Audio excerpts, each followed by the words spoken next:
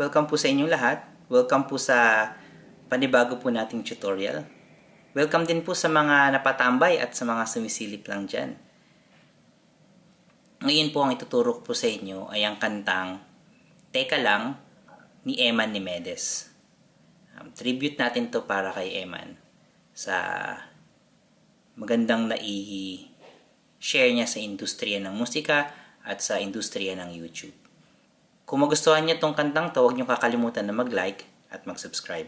Ganun din nakalembangin niyo ang bell button natin para lagi kayong maging updated sa mga darating pang mga guitar tutorial natin. At huwag niyo pong kakalimutan na mag-comment kung meron po kayong mga tanong at meron po kayong mga suggestion at mga request. Maraming salamat po. Simulan po natin ang kantang Teka Lang.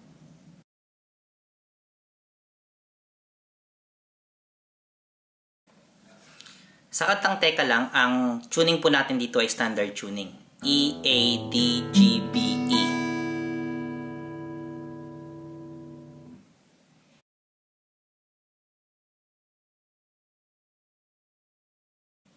Sa intro po natin, ang chords po natin dito ay D major 7, F sharp 7,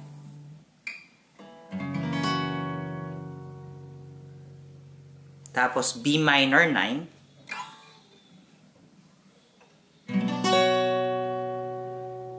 So, ibabar po natin to.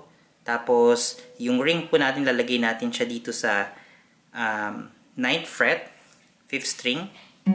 Tapos, yung pinky, 9th fret, 1st string. So, yan. Tapos, ang next po natin is A minor 9. So, parehas lang rin po ng form na to. Iusog lang natin siya dito sa 5th fret. So, parehas lang siya ng form. Tapos, um, ang next natin is D9. So, ganito ang form natin. So, ilalagay natin yung index natin dito sa um, 4th fret, 4th string, tapos yung middle natin, lagay natin sa 5th fret, um, 5th string, tapos itong ring natin, um, i-bar natin siya sa remaining na string dito sa 5th fret pababa. Ayan. Next natin is G major 7. Gamitin natin tong form na to. Okay? So, para siyang G, lagay lang natin tong middle natin dito sa um, 3rd fret, first 6 string, 3rd fret, 6 string, tapos yung ring natin lalagay natin sa 3rd fret, 2nd string, tapos yung index natin, 2nd fret, um, 1st string. Yan ang G major 7 natin. Tapos G minor 9. Okay, sa G minor 9 natin, parehas lang siya nung B minor 9 tsaka A minor 9 natin. Pero nandito siya sa um, 3rd fret, yung bar. Tapos,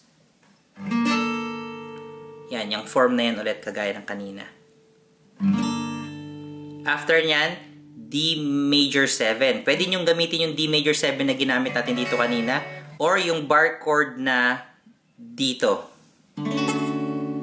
Ayan. So, bar natin tong from 5th hanggang pababa, 5th to 1st string ng 5th fret. Tapos lalagay natin yung middle natin dito sa 6th fret, 3rd string. Tapos yung ring natin, ilalagay natin siya dito sa 7th fret, 4th string. Tapos yung pinky natin, 7th fret, 2nd string. Ayan yung tunog niya. Okay? So, after nyan, A minor 7. So, ang A minor 7 natin, ibabar natin to. Tapos, yung ring finger natin, dito siya sa 7th fret, 5th string.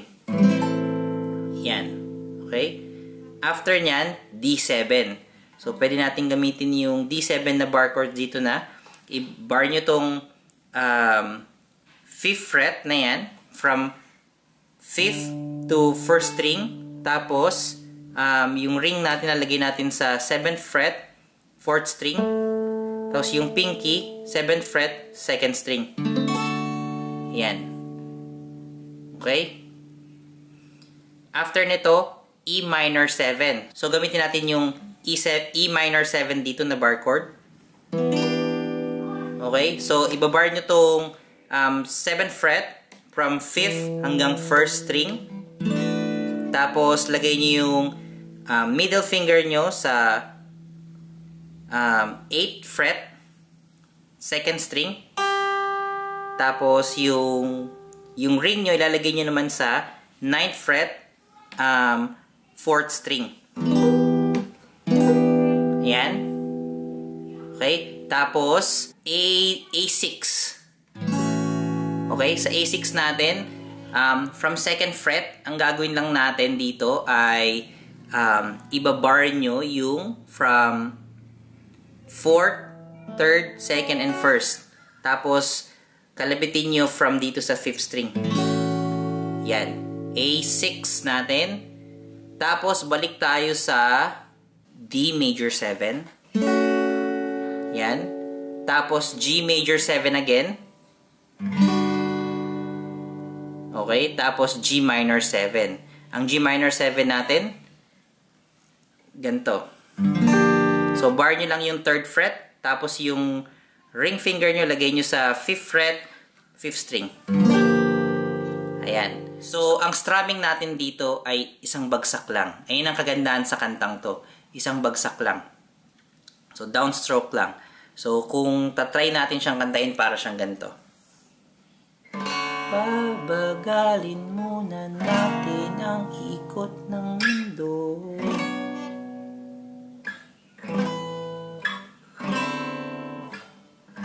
Pahintuin mga kamay ang oras relo.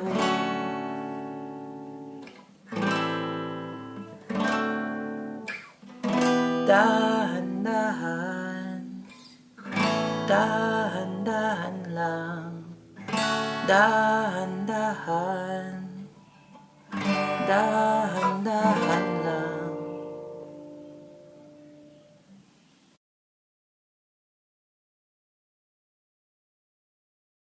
So, sa verse natin, ang chords natin dito ay D major 7, tapos B minor 7, tapos E minor 7. So, isa lang yan. Lalagyan natin yung index natin sa 2nd fret, um, 5th string. Tapos, A6. Okay, so 4 times natin to gagawin. So, kung tutugtugin natin para siyang ganito. Sobrang saya dahil nandito ka na kahit mamaya lang ay halis rin agad. Huwag ka sanang mainis, paano natin mabilis? Saan madali, di na madali.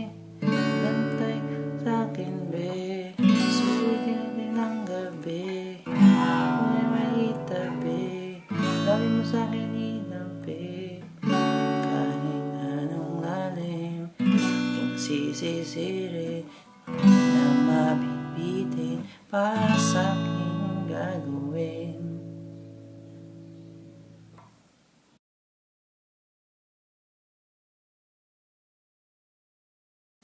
Sa outro natin, ang chords natin dito ay D major 7, B minor 7, E minor 7, tapos A6. Two times natin gagawin yun. So, kung kakantay natin, para siyang ganito.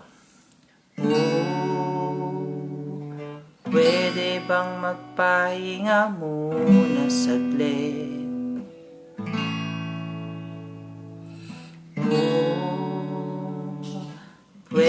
Bang magpahinga muna saglit?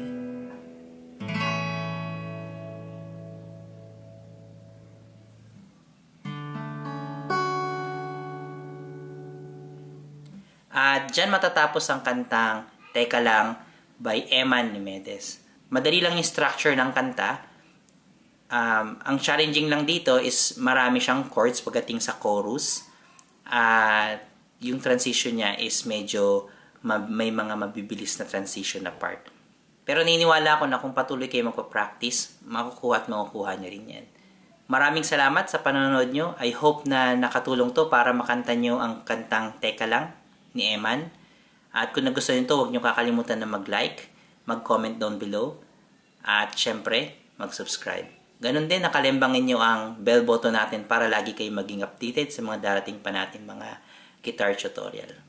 Maraming salamat po at kita-kits tayo next time.